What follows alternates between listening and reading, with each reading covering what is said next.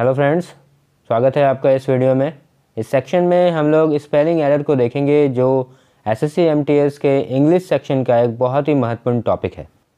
तो दोस्तों वीडियो को पूरा देखिएगा, बहुत ही महत्वपूर्ण स्पेलिंग्स पे कंसंट्रेट किया जाएगा, जो आने वाले एग्जामिनेशन में बहुत ही महत्वपूर्ण रहेगा। तो आइए शुरू करते हैं। पहली स्पेलिंग है guys insobriety I N S O B R I E T Y जिसका अर्थ होता है असंयम। इन सोब्राइटी का प्रयोग इंग्लिश में नाउन के रूप में, यानी संज्ञा के रूप में होता है गाइज़ बहुत ही महत्वपूर्ण स्पेलिंग है, याद रखिएगा. नेक्स्ट स्पेलिंग है jeopardous J E O P A R D O U S जिसका अर्थ होता है गाइज़ आपत्ति युक्त जियोपार्डस एक एडजेक्टिव है, विशेषण के रूप में इसका प्रयोग होता है.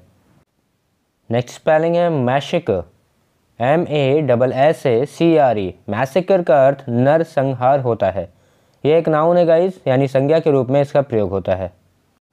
नेक्स्ट स्पेलिंग है opprobrium O double P R O B R I U M जिसका अर्थ होता है गाइज़ अप यस ये भी एक नाउन है, यानी संज्ञा के रूप में इसका प्रयोग होता है।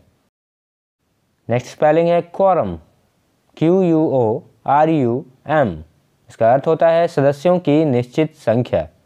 ये भी एक नाउन है गाइज़ संज्ञा के रूप में इसका प्रयोग होता है इंग्लिश में। अगला वर्ड है sovereign S O V E R E आई जी एन जिसका अर्थ होता है श्रेष्ठ या प्रधान। ये भी एक नाउन है गाइज़ इसका भी संज्ञा के रूप में इंग्लिश में प्रयोग होता है। अगला वर्ड है pyorrhoea P Y O double R H O E A बहुत ही महत्वपूर्ण स्पेलिंग है गाइज़ पायरिया, दांतों की एक बीमारी है नाउन के रूप में इसका इंग्लिश में प्रयोग होता है। अगला वर्ड है psychology P S Y C H O L O G Y जिसका अर्थ होता है मनोविज्ञान, मन का विज्ञान। इसका भी नाउन के रूप में, यानी संज्ञा के रूप में इंग्लिश में प्रयोग होता है। नेक्स्ट वर्ड है pessimism P E double S I M I S M जिसका अर्थ होता है निराशावाद। ये भी एक नाउन है गाइज़ संज्ञा के रूप में इंग्लिश में प्रयोग होता है। अगला वर्ड है guys questionnaire Q U E S T I O double N A I R E जिसका अर्थ होता है प्रश्नों का समूह। ये भी एक संज्ञा शब्द है। अगला वर्ड है remembrance R E M E M B R A N C E जिसका अर्थ होता है यादगार। ये भी एक नाउन है गाइज़ संज्ञा के रूप में इंग्लिश में प्रयोग होता है।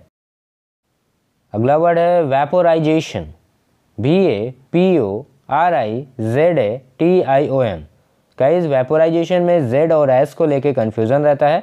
इसका अर्थ होता है वाष्पीकरण। ये भी एक नाउन है। बहुत ही महत्वपूर्ण वर्ड है। याद रखिएगा।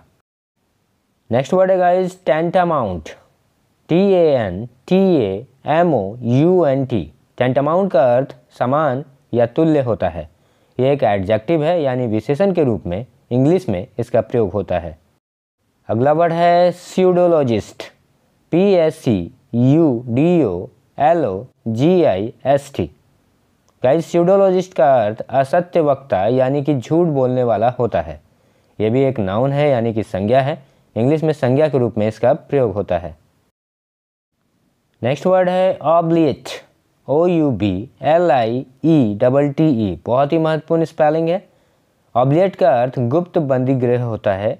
यह भी एक नाउन है, यानी संज्ञा के रूप में इसका इंग्लिश में प्रयोग होता है। तो इसी तरह के और वीडियोस देखने के लिए दोस्तों चैनल को लाइक और सब्सक्राइब करें। आप सभी का धन्यवाद।